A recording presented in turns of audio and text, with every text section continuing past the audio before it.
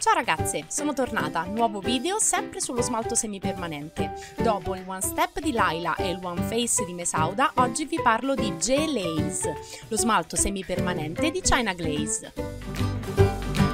Quello di G-Laze è un sistema bifasico che prevede l'utilizzo di un gel base e colorato in un unico prodotto e di un gel top coat. G-Laze polimerizza con tutte le lampade, 30 secondi con quella LED, 2 minuti con la lampada UV. Gelaze è un semipermanente soak off, quindi si scioglie senza problemi in acetone.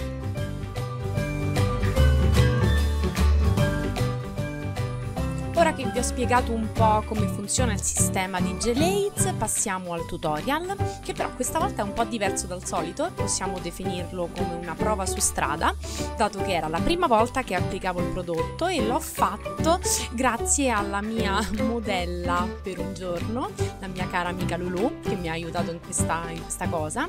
E diciamo che è una prova su strada nella quale, eh, mentre lo uso per la prima volta, mi accorgo magari di alcune cose eh, di questo questo prodotto che potrebbero crearvi delle difficoltà e quindi vi do qualche consiglio pratico per cavarvela in tutte le occasioni.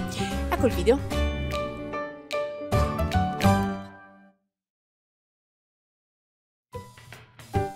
Partiamo come sempre dalla preparazione dell'unghia che avviene tramite la limatura e l'opacizzazione di tutta la superficie ungueale con un buffer.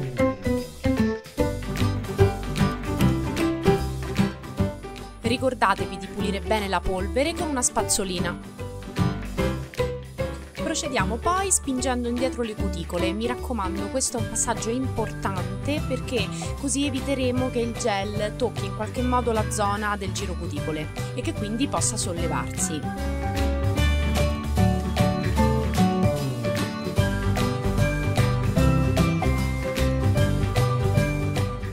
Essere certa di aver eliminato tutta la polvere, pulisco le unghie con il cleaner o con un solvente senza acetone.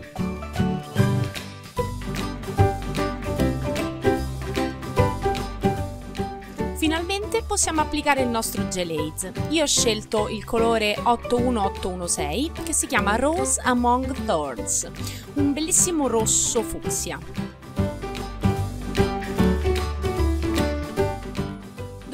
Agitato con delicatezza la boccetta, inizio con la stesura del primo strato di smalto. Come vi dicevo questo sistema non prevede base, quindi posso applicare direttamente il colore e lo faccio con uno strato molto sottile. Ricordatevi che è sempre meglio fare uno strato in più piuttosto che uno strato più alto perché rischiamo che la polimerizzazione in lampada non proceda bene.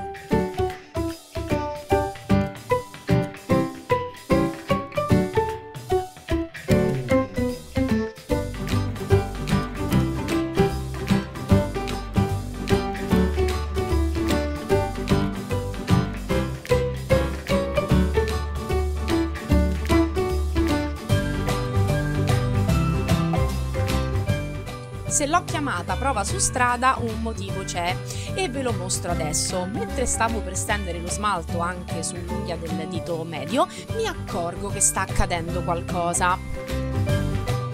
Zan zan zan! Lo smalto semipermanente si sta ritirando verso il centro dell'unghia. Diciamo che non me lo aspettavo, però dalla consistenza piuttosto liquida di questo smalto semipermanente il dubbio ce l'avevo. Come si rimedia? Si rimedia correndo ai ripari, quindi sistemando l'unghia con lo smalto che appunto si sta ritirando e di solito eh, si procede poi unghia per unghia, almeno per quella che è la prima eh, fase, quindi il primo strato di smalto.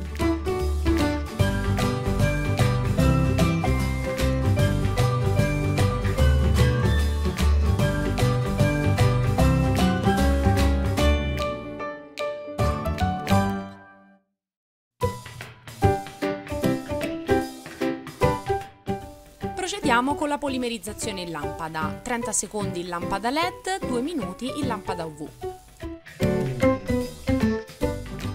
Questo è il risultato dopo solo una passata. Procedo ovviamente con una seconda perché voglio un colore più pieno e se guardate vi renderete conto che infatti questa seconda applicazione, quindi questo secondo strato, non tende a ritirarsi come aveva fatto il primo. Questo perché? Perché come vi dicevo all'interno del prodotto colorato c'è anche la base, quindi una volta polimerizzato il primo strato, lo strato successivo ovviamente trova già maggiore aderenza.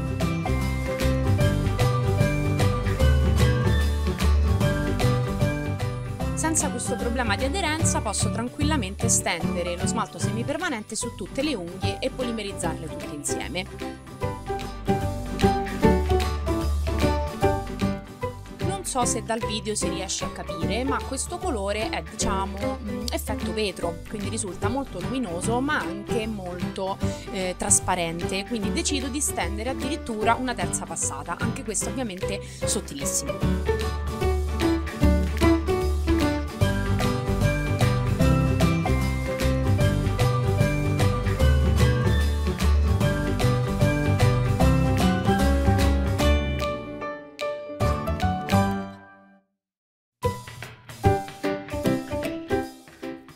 Polimerizzato anche questo strato, passiamo all'applicazione del top coat.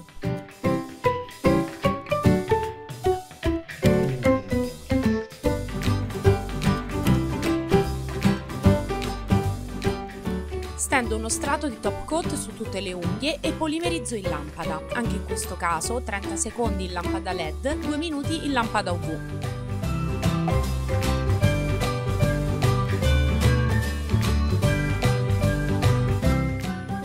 Ai ai il pennello del top coat si è sporcato. Questo avviene per due motivi. Da un lato eh, per via dello smalto che è molto pigmentato, dall'altra eh, perché probabilmente il terzo strato di smalto semipermanente non si era asciugato completamente. Eh, può succedere e se vi succede vi consiglio di prolungare la polimerizzazione per qualche secondo in più.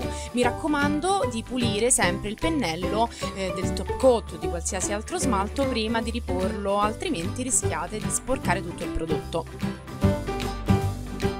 Quando anche il top coat si sarà polimerizzato non vi resta altro che sgrassare e voilà! La vostra manicure con Gelaze è fatta! Io spero che il tutorial vi sia piaciuto, iscrivetevi al canale per non perdervi gli altri e vi mando un bacio. Ciao!